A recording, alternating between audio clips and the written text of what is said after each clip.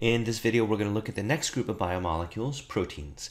So here are our learning objectives. Number one, we want to define functional groups. I know I talked about that a little bit before, but I got a slide that I want to show you to help kind of explain that a bit more. Um, and so now, uh, from here on out, we're really looking at proteins from uh, learning objective two down to six. What are the building blocks of proteins? We'll learn that those are amino acids, and we need to describe the anatomy or the chemical makeup of an amino acid. An amino acid is a molecule. Uh, number four, how many different types of amino acids are involved in human physiology? And we'll see that there are 20. And number five, what is the difference between catabolic anabolic reactions? We, this is not necessarily a protein specific learning objective, but it's a good place to throw this in. And number six, describe primary, secondary, tertiary, and quaternary structures of a protein. So let's start off with the idea of functional groups. So I described to you guys um, previously that when you look at letters of the alphabet, in the English alphabet we have 26 letters, but oftentimes certain letters like to be clustered together, like ST, stick, stone, stable, statue, fast, mast uh, BR, and you can see a whole bunch of words there that show you that functional group BR. There's probably a, a, name for this if you're a grammar teacher or an English teacher. I don't know what those names are, but um, we all certainly recognize that letters tend to be clustered together this way. T I O N, there's a gazillion words that end in T I O N ambition, nation, congratulations. Uh, I mean, th- there's, th- there's a ton of them besides these. These are just examples.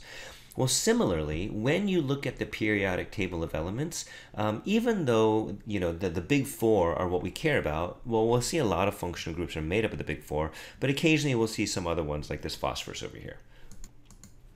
But all I'm, all I'm really trying to say is that certain atoms like to be clustered together into functional groups. And so OH is a very, very famous and very common functional group. We've seen that before in carbohydrates. I just never called it out. Um, that has a name. It's called a hydroxyl group, and you need to know that name. Um, hydroxyls are famously found in various alcohols. Uh, PO4 is called a phosphate group, so this means there's one um, atom of phosphorus and then four atoms of oxygen. And when we hook them up together, we actually call that a phosphate group. And probably the most famous example we'll see is adenosine triphosphate, ATP, which we'll spend enough time on. C double bonded to O with another OH is a carboxyl group, and we find these amino acids, which is which is what we're going to get into. And NH2 is an amine group. We also find these amino acids, which we'll see. So the point here is that we've got these functional groups, and what I need you to know is I just need you to know the basic ones, and and these are the four basic ones, and and depending on your discipline, there's other ones that people might consider to be basic ones. But for what we're doing in human biology, if you know these four, then I'm good. I'm good with that. Um, this is a table from another, um, I, I, don't recall which textbook this is from, um, but it shows you here a whole bunch of common functional groups. Um, and I highlighted in red boxes the, the ones that I just showed you previously. And it gives you a little bit more information about them. Okay, so now with that in mind, okay, there's a reason we're doing functional groups. The reason we're doing functional groups is that I want to talk about, I'm going to use them actually to build amino acids. And I'll tell you right off the bat that the two that I'm going to use are, as you might imagine, the amino group or amine group and this thing called a carboxyl group. So these two groups right over here, the carboxyl and the amine groups, are really important in amino acids. So here, that would be these two. So this carboxyl group right over here, and then these amine groups, those are going to be really important for what we're doing now, which is again why I wanted to get into uh, functional groups here. So um, proteins, the building blocks again are amino acids. So what I want you to be able to do is if I if I asked you, hey, build an amino acid, I want you to be able to tell me how I build the amino acid. And here are your rules. Well, at the center, I have a, a, carbon, and this is a central carbon atom. That term alpha, I don't care if you know it or not, but this thing, this is your central carbon. And from there, remember that carbon forms four covalent bonds. So I have a covalent bond coming up here to this thing called an R group, whatever that is. I have a covalent bond coming off to the carbon, which uh, is part of the carboxyl group. So this is your carboxyl group that I just mentioned, COOH, that you also saw on this slide, COOH, okay, ignore the R for now. And so this is your carboxyl group. So carbon is bound to the carboxyl group, and it happens to be bound through this carbon.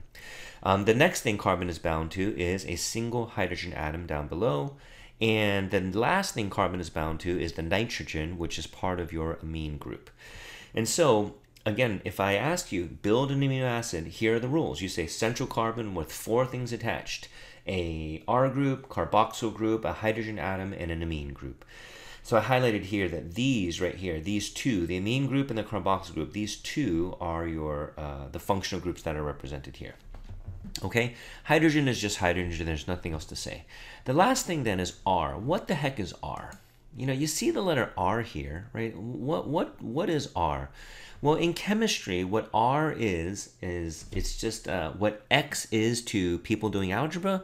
R is to people doing chemistry. So let me give an example. If we looked at something like this, what is R? Okay, so in other words, let, let, let me back up here. If you were to go to the periodic table of elements, um, and I actually don't have one on this PowerPoint, but if you were to access a periodic table of elements, you're not going to find an R anywhere. You'll find an N, which is nitrogen, you'll find an O, which is oxygen, you'll find a C, which is carbon, but you're not going to find an R on there. And so what is R? It's this. So let's kind of go left to right. If I told you, if I just gave you a chemical equation, it said 2x equals 10, what is x? You would say x is 5. Mm, okay, so you'd solve for x, and you'd say x is equal to 5. So if I say, well, what is x? You would say, oh, it's just a, it's just a stand-in variable. It's, it's the unknown. It's the, it could be a bunch of different things. 4x equals 12, well, x equals 3. And, and I guess in that regard, in this specific case, x couldn't be a bunch of different things. x is 5 here, x is 3 here. But what I mean is just the letter, the variable x, in, in the big scheme of math, it could be a lot of different things. 3x equals 15, well, in that case, x equals 5. It's a bit of a stretch, but let's just see it in grammar. May the x be with you. And for you Star Wars nerds like me, you would say, oh, that's the Force. May the Force be with you. X equals the Force. So we use X just kind of as a stand-in variable, meaning that in math is the thing you solve for. But what I really mean is that it could represent a lot of different things. So in chemistry, R can be a lot of different things. So what this means here is hydroxyl groups sometimes are bound to, you know, two carbons which are attached to something. Sometimes it's R is a, a, a whole like 18 carbons bound to something. Sometimes R is like five carbons bound to some handful of other things. R can be a lot of different things. All we care about is this thing. Just like you saw, well, you could say these letter clusters, you could say something like ST bound to R. In this case, R is ICK. In this case, R is ONE. In this case, R is ABLE. In this case, R is ATUTE. R can be a lot of different things when we're talking about just these letter clusters, when we're talking about these so-called functional groups, okay? Now, in the context of amino acids, though, specifically in the context of amino acids, we have 20 different versions of R. And I, I wrote here in human biology what I really should have said in amino acids. In amino acids, there are 20 different versions of R. So let's look at those different types, of different R's. Um, there's your slide. You don't have to memorize this list, but what I want you to see is in some cases, R is nothing but a single hydrogen atom. But, but hang on, before we do that, these there are 20 different amino acids here on this table. And what I want you to see is that the base of them are all the same. They have a central carbon, right? They each have a central carbon. Each of them is bound to a carboxyl group. That's that COO up top, COO up top. And again, I know you might be thinking, wait, you said carboxyl is COOH. So where the heck is the H? Just, just, I want you to put that question on hold for now because it's a little bit of a distraction for right now. Just, just trust me, it's still a carboxyl group. The next thing that we see is your hydrogen atom. Um, and do we see a hydrogen atom? Yep, for each of these, there's a hydrogen atom right over here. So what I want you to see is for each of these amino acids, the, the, the fundamental skeleton, in other words, the things that's not highlighted in blue, for each of these, it's exactly the same, isn't it? They're all identical. The only thing that's different between these amino, uh, 20 different amino acids is the R group. So in some cases, R is nothing but a single hydrogen atom. If that's the case, the name of that amino acid is glycine.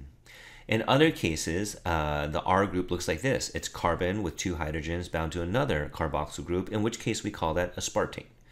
In other cases, it's this carbon with two hydrogens and another carbon with two hydrogens, and then your carboxyl group, in which case we call you glutamate.